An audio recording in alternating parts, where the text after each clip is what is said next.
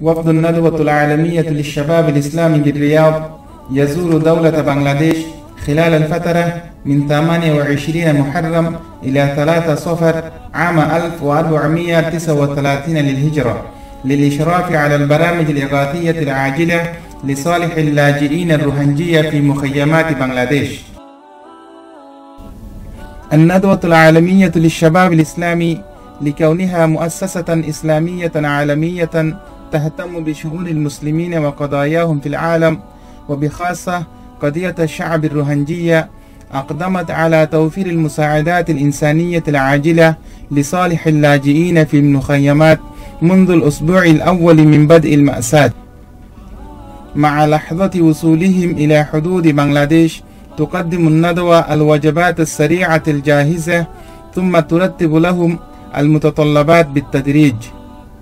بدءا من بناء الأكواخ والبيوت وحفر آبار وبناء حمامات وتوفير الملابس ومستلزمات البيوت ثم توزع لهم السلال الغذائية المشتملة على الأرز والبطاطس والعدس والزيت والملح وغيرها. وكذلك حليب وأطعمة للأطفال لمختلف الفئات العمرية حتى السن الخامس. وكذلك أدوات النظافة مثل الصابون والمعجون وفرش الأسنان ومناشف وقصافة الأظافر وغيرها. وتوزيع اللحوم المطبوخة الجاهزة في المخيمات.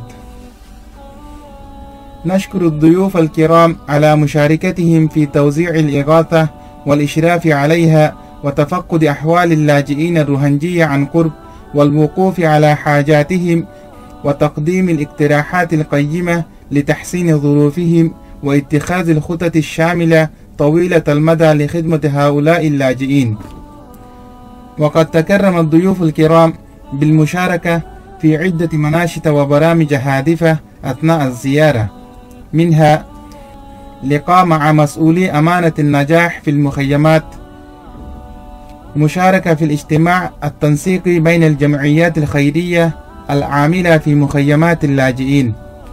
زيارة جامعة دار المعارف الإسلامية واللقاء مع الشيخ سلطان زوق الندوي حفظه الله تعالى ورعاه. اجتماع مع اتحاد الطلاب المسلمين. وختاما نكرر شكرنا وتقديرنا لضيوفنا الكرام وجميع من ساهم معنا لخدمة إخواننا اللاجئين الروهنجيين المسلمين الذين أخرجوا من ديارهم وما نقموا منهم إلا أن يؤمنوا بالله العزيز الحميد سائلين الله المولى الكريم أن يتقبل جهودنا ويسدد خطانا ويوفقنا جميعا لما فيه الخير للإسلام والمسلمين والسلام عليكم ورحمة الله وبركاته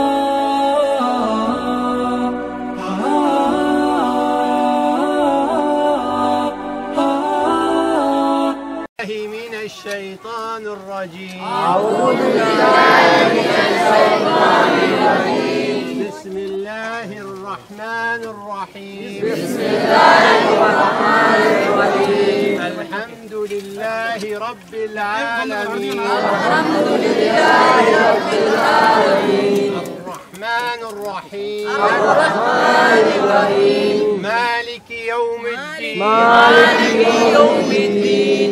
إياك نعبد وإياك نستعين. اهدنا الصراط المستقيم. الصراط المستقيم صراط الذين أنعمت عليهم صراط الذين أنعمت عليهم غير المغضوب عليهم. غير المغضوب عليهم. ولا الضالين.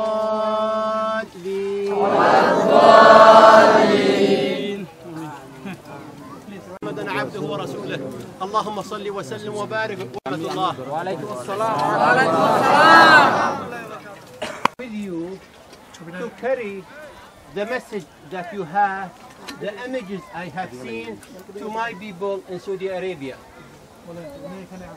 And I know you are suffering a lot when you were in Arakan and now.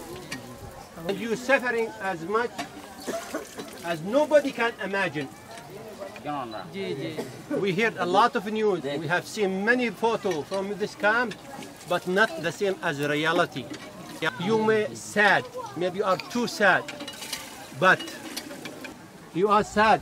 I know you are sad, and you have no hope, maybe.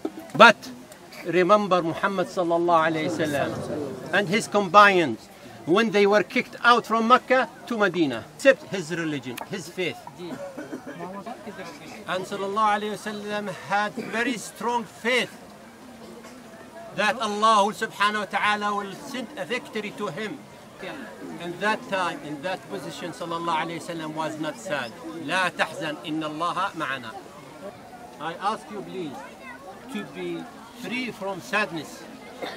And, and, and I want you to be more patient. If you are satisfied and patient, Allah subhanahu wa ta'ala will send His mercy to you. Also, I ask you please to cooperate with each other and help each other and avoid any problems or conflict among you. May Allah subhanahu wa ta'ala give to you full mercy and patience. and inshallah we'll see you in next visit in better condition inshallah.